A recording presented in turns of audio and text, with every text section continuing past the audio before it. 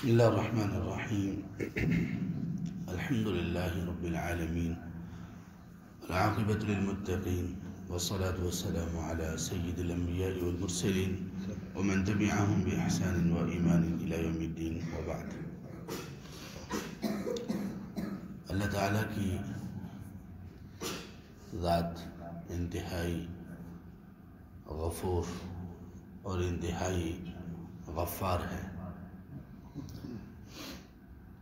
اللہ تعالیٰ انسان کو کبھی بھی بغیر اطلاع کے اور بغیر نصیحت کے اور پیغام اس تک پہنچا دینے کے بغیر کبھی بھی اس کو ہلاک نہیں کرتے یہ اللہ کی ایک سنت اور اللہ کا ایک قاعدہ ہے۔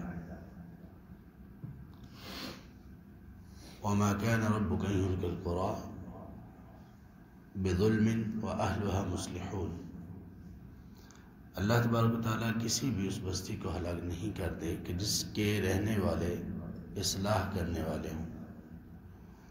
یہ ایک قاعدہ ہے۔ اسی طرح یہ بھی ایک قاعدہ ہے کہ جب تک کسی قوم تک پیغام نہ پہنچے، انبیاء و رسول ان میں مبعوث نہ کیے جائیں، انبیاء و رسول کی دعوت ان تک نہ پہنچائی جائے، تو اللہ تعالیٰ ان لوگوں کا عذر قبول کرتے ہیں۔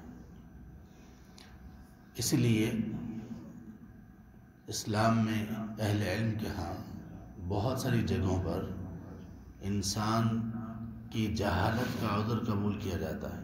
جہالت کا مطلب یہ کہ انسان کو پتہ ہی نہیں ہے۔ انسان ایک کام کر رہا ہے لیکن اس کو علم میں نہیں ہے کہ یہ کام جائز ہے یا ناجائز ہے۔ بغیر علم کے اگر اس نے کوئی ناجائز کام کر لیا تو اللہ تبارک و تعالیٰ کی طرف سے بھی اس کی پکڑ نہیں ہے۔ اور بہت ساری جگہوں پر دنیاوی اعتبار سے بھی اس کو، اس کے اس عذر کو قبول کیا جائے گا۔ اور اسلام کا عمومی رویہ ایسے لوگوں کے ساتھ انتہائی نرمی کا ہے۔ اللہ کے رسول صلی اللہ علیہ وسلم ایک مرتبہ مسجد میں موجود تھے۔ آپ کے اصحاب بھی آپ کے ساتھ تھے۔ کہ ایک شخص آئے، وہ بھی مسلمان تھے۔ انہوں نے آ کر عرب کے دیہاتیوں کی طرح ان کے ہاں یہ رواج تھا۔ اور یہ تقریباً ہر جگہ پر ابھی تک کچھ سالوں پہلے تک یہی رواج تھا کہ وہ مسجد میں آئے۔ مسجد میں تب یہ معلوم ہی ہے کہ یہ قالین اور اس طرح کی چیزیں نہیں تھیں۔ کوئی چٹائی وغیرہ نہیں ہوتی تھی۔ پتھروں پر ہی سجدہ کیا کرتے تھے۔ بارش ہوتی تھی تو چھت ٹپکتی تھی اور ایک کیچڑ سا بن جاتا تھا پانی کی وجہ سے مٹی میں مل کے۔ تو اسی پر ہی سجدہ کیا کرتے تھے۔ تو مسجد ایسی تھی۔ صحابہ رضی اللہ عنہ اور نبی صلی اللہ علیہ وسلم بیٹھے ہوئے ہیں۔ ایک شخص آئے، انہوں نے ایک سائڈ پر ہو کر مسجد میں ہی پیشاب کرنا شروع کر دیا۔ اب یہ بات اس قدر ناگوار گزری صحابہ رضی اللہ عنہ کہ وہ اٹھے اور قریب تھا کہ پل پڑتے اس شخص پر۔ قریب تھا کہ اس شخص پر پل پڑتے۔ لیکن آپ صلی اللہ علیہ وسلم نے تمام صحابہ کو روک دیا۔ کچھ صحابہ کھڑے ہوئے روکنے کے لیے کہ اس کو ہٹائیں یا اس کو مسجد سے باہر نکالیں یا ڈانٹ ڈپٹ کریں۔ روک دیا آپ صلی اللہ علیہ وسلم۔ سبحان اللہ۔ کہا، اس کو اپنی حاجت کو پورا کر لینے دو۔ آپ صلی اللہ علیہ وسلم نے چھوڑ دیا۔ جب وہ اپنی حاجت کو پورا کر کے آیا تو آپ نے بڑے ہی پیار سے کہا، دیکھیے مساجد اس چیز کے لیے نہیں بنائی گئی۔ یہ اللہ کے ذکر کے لیے، اللہ کی تسبیح و تقدیس کے لیے، نماز کے لیے، تلاوت کے لیے۔ یہ مقدس جگہیں ہیں۔ یہ اللہ کے ذکر کے لیے، اللہ کی شان کی بلندی کے لیے بنائی گئی۔ سبحان اللہ۔ وہ شخص اس قدر متاثر ہوا، اس قدر متاثر ہوا تھا، گاؤں کا رہنے والا۔ باقی لوگوں نے سختی کرنے کی کوشش کی تھی۔ آپ صلی اللہ علیہ وسلم نے انتہائی نرمی سے پیش ہے کہنے لگا، رحم اللہ۔ اللہ تبارک تعالیٰ میرے اوپر اللہ مرحمنی و رحم محمد ولا ترحم معنا احد۔ اللہ، آپ مجھ پر رحم فرمائیں محمد صلی اللہ علیہ وسلم پر بھی رحم فرمائے اور ہمارے ساتھ کسی اور پر رحمت نہ کرنا۔ کیوں؟ انہوں نے ہم پر رحمت نہیں کی۔ آپ اس حدیث کو ذہن میں رکھیے اور ہم خود اپنے رویے اپنے سامنے رکھیں۔ کتنے لوگ ایسے ہیں جو محض ہماری سختی، ہماری درستگی کرختگی اس کی وجہ سے دین سے دور ہو جاتے ہیں۔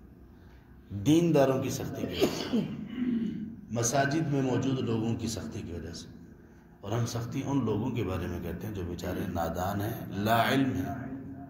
بجائے اس کے کہ ہم ان کو قریب کریں، بجائے اس کے کہ ہم ان کو نصیحت کریں، بجائے اس کے کہ ہم نرمی سے پیش اس کے، اس سے بالکل برعکس۔ مسجد میں آ کے بھی کوئی غلطی کر سکتا ہے نا؟ بچوں کو ہی نہیں، چھوڑ دیجیے آپ بچوں کو۔ بڑے بھی آ کے غلطی کر سکتے ہیں۔ کچھ بھی ان سے ایسا سرزد ہو سکتا ہے۔ تو اس معاملے میں بھی ہمیں اللہ کے رسول صلی اللہ علیہ وسلم کی ذات کو نمونہ بنانا چاہیے۔ ہم نے جو آیات سنی ہیں ابھی اس کی پہلی رکعت میں صورت الطبہ کی چند آیات، اس میں اللہ تعالیٰ نے ابراہیم علیہ السلام کا ذکر کیا۔ ان کے بارے میں ایک وصف ذکر کیا، ایک ان کی صفت ذکر کی۔ ویسے عمومی طور پر اگر ابراہیم علیہ السلام کی زندگی کو دیکھا جائے تو لگتا یوں ہے کہ اللہ کے لیے وہ ہر بندے کے خلاف تھے اور بڑے سخت جیسے ایسے ہوں گے، کیونکہ انہوں نے بتوں کو توڑا، بتوں کو پاس پاس کر دیا۔ تو لگتا ہے ایسا کہ جیسے وہ سخت طبیعت کے مالک ہوں گے۔ لیکن ان کا وصف کیا تھا؟ ان ابراہیم حلیم پوری زندگی مشرقوں سے مقابلہ کرتے ہوئے ان کی گزری۔ پوری زندگی قربانیاں دیتے ہوئے گزری۔ لیکن اپنا انداز کیا تھا؟ انتہائی آہو بکا کرنے والے اللہ کے لیے۔ حلیم انتہائی طبیعت میں برداشت، حوصلہ۔ حلیم کا معنی ہوتا ہے وہ بندہ جس میں برداشت بہت اس کی طبیعت کے خلاف بات ہو جائے، اس کے مزاج کے خلاف بات ہو جائے تو برداشت کرے۔ بہت برداشت کرے۔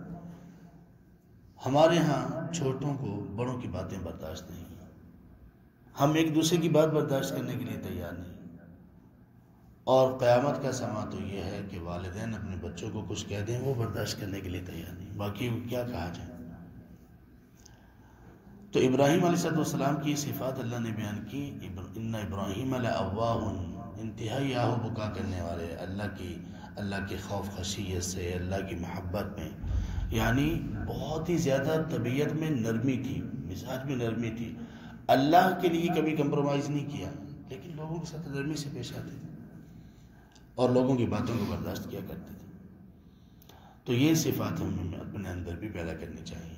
اس لیے کہ یہ صفات کا پیدا کرنا جنت میں جانے کے لیے ضروری ہے۔ آپ صلی اللہ علیہ وسلم نے فرمایا اللہ خبرکم بھی اہل الجنہ لوگوں میں تمہیں بتاؤں نا کہ جنت میں جانے والے لوگوں کی صفات کیا ہوں گی۔ پھر آپ نے بیان کیا ترمیزی وغیرہ میں یہ حدیث ہیں کل ضعیف متضعف وہ ہر کمزور لوگوں کے ہم بھی جن کو کمزور سمجھا جاتا ہے، وہ لوگ۔ اور وہ کہ جس کا دل نرم ہو مسلمانوں کے لیے۔ رقت قلبی کا جو شخص مالک ہو۔ یہ جنت میں جانے والے لوگوں کے اوصاف ہیں۔ جس میں رقت ہو، جس کے دل میں نرمی ہو، جس کے دل میں۔ اور پھر اسی حدیث میں آپ نے فرمایا کہ تمہیں ان لوگوں کے بارے میں بھی بتاؤں کہ جو جہنم میں جانے والے ہیں، جن کی صفات ہیں۔ باقی ان کا کفر، ان کے شرک، یہ سب الگ چیزیں ہیں، لیکن ان کے اخلاق میں جو اوصاف ہوں گے وہ کیا ہوں گے؟ کل عدل جواد، وہ جن کے دل میں بھی سختی اور جن کی کلام اور بات میں بھی سختی ہوگی۔ لوگوں کے ساتھ تکبر سے پیش آئیں گے، سختی سے پیش آئیں گے، الفاظ میں سختی ہوگی، انداز میں سختی ہوگی۔ دیکھیے کیسے اسلام ہماری رہنمائی اور کس طرح سے تربیت کرتا ہے۔ قرآن کریم کی ان ساری آیات کو لیں، احادیث کو لیں اور نبی صلی اللہ علیہ وسلم کی زندگی اور آپ کی طبیعت اور مزاج کو لیں۔ تو ہمیں پتہ چلتا ہے کہ اسلام ہمیں کیسا بنانا چاہتا ہے۔ اسلام ہمیں ایسا بنانا چاہتا ہے کہ نرمی ہم پر غالب رہے۔ ہاں وہاں غصہ یا سختی کریں جہاں پر اللہ کی حدود کا معاملہ ہو، اللہ کی ذات کا معاملہ ہو۔ اور تب سختی کریں جبکہ لوگ نادانی میں ایسا نہ کر رہے ہوں جانتے بوجھتے ایسا کر رہے ہوں۔ اور وہاں پر آپ کے سختی کرنے کا کوئی فائدہ بھی نظر آ رہا ہو تب، ورنہ ہماری عام طبیعت لوگوں کے معاملے میں نرمی کی ہونی چاہیے؟ حلم، بردباری، برداشت ہونی چاہیے۔ اور اللہ تبارک و تعالیٰ کے لیے ہمیں عاجزی اور انکساری کرتے رہنا چاہیے۔ اللہ ہماری حالتوں پر رحم فرمائے، ہماری رہنمائی فرمائے، ہمارے دل میں ایمان کی محبت کو مضبوط کر دیں۔ اور عمل کرنے کی ہمیں اس پر توفیق دیں اور اللہ تبارک تعالیٰ ہم سب سے راضی ہو جائیں۔ سبحانک اللہم و بحمدک، اشہد ان لا الہ الا انت، استغفرک و اتوب الیک۔